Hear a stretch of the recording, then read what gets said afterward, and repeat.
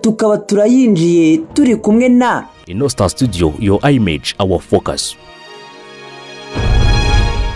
hagati aho umuganura mwiza ye mwamwe mwese mwese nawe umuganura mwiza we wikendi turayinjiye anita wakwambara izo nkweto tukagenda njyewe nzambaye ni ukumereza ibiti byo kugenderaho mbese barazambara bakagenda dore ibihari dore zo ngo ni ukuzikura oya banza umbwire abantu bambara izo nkweto reka mbabwize ukuri. Guhera uyu munsi ndabubashe ndabubashe abantu bose bambara izo nkweto reka reka. Reka. Kuri twitter uyu munsi kabaye koko. Wumvishe izina nyirarukundo mami. Uhita wumva ko ari umugore cyangwa ari umukobwa. Gusa mu by'ukuri ni bake bashobora kuba bazi niba ari umukobwa cyangwa ari umusore kuko bigoye kubona uwo yaba yaravugishije mu ijwi rye uretse kumwandikira gusa. Kuko icyo gihe yarakureshyaga akakubwira uti numa amafaranga.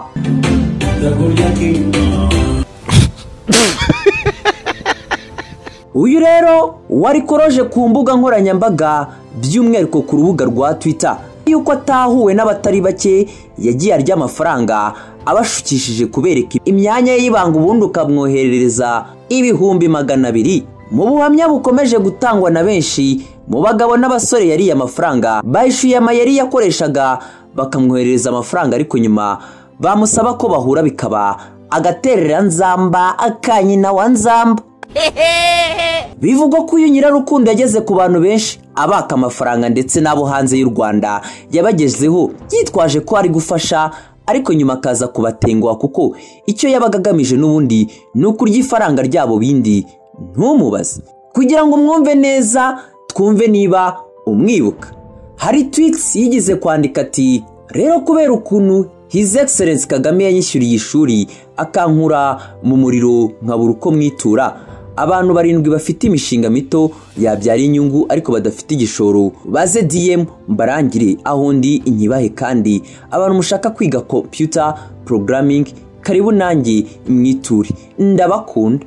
Ah nyuma y'uko rero baje kumuvumbura akawunti yiwe yaje kugira gutya. Arayisiba. Bamwe bati n'ubu ndacyarira nyirarukundo rwose. Clarisse we byamurenze ati nsigaye ndeba ibintu bibera kuri twira nkakuka umutima. Ngaho kubika abasitari aho kubakomeza ngaho gutuka bishimiye intambwe imana ibateza. Ngaho gutukana gukwiza ibihuha. Ngaho kwamamaza ingeso mbi ecetera ni gute abantu twisanze kuri uru rwego ruricipu gutya? Ndasaba imbabazi abakunzi banjye hano ariko ndabona ntazatinda gusaba puratifomu nk'iyi. Biteye impungenge ibibera hano rwose. Hari abamubwiye bati ubundi si ibyo ngibyo? Ibyo bintu ntabwo bikureba. Nibiba biri kuri iyi mihanda. Mbibutsa ngo ndi kumwe na hano muri iki gihugu cyacu nta handi nasanze serivisi nziza zijyanye n'ibikoresho byiza kandi bigezweho. Yaba mu gufata amafoto amashusho graphic design ndetse n'abakoresha drone usibye muri ino star studio. Ibya teta bimaze gufata indi ntera byayoberanye neza. Ejo wizo yagaragaje amafoto yerekana ko urukundo ruryoshye hagati ye abantu bakomeje kumushinja ko amuhohotera bagomba guceceka. Agashya baza kugaragara mu kabari bari kumwe bari gusangira. Ewa ari ibindi bindi. N'abarabe banzi rero banaye. Kiboko nezimatiro woma. Nyapirawo kurusaniya gusa witegereje neza ukabona ko uyu mukobwa ashobora kuba ari kubihatirizwa kuko wizavugaga ati mufate amashusho ndi kumusoma Kikabona kimwe just smile smile and the pecs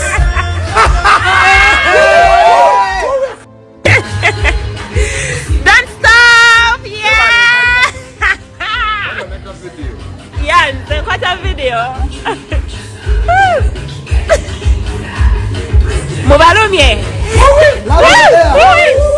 shut up and listen nyuma y'uko daniela atari kumuha amahwemo yewe akavuga ko nareba nabi ashobora kwisanga mu nzira imeze kimwe n'iyo nyakwigendera radiyo na aka 47 bitabye imana. Yewe agasanga wizo na teta nta kindi bakeneye uretse yesu. Ngira ngo muheruke inkuru zasohotse muri ino minsi ko ambasade y'u rwanda yamaze kwinjira mu kibazo cya sandra teta.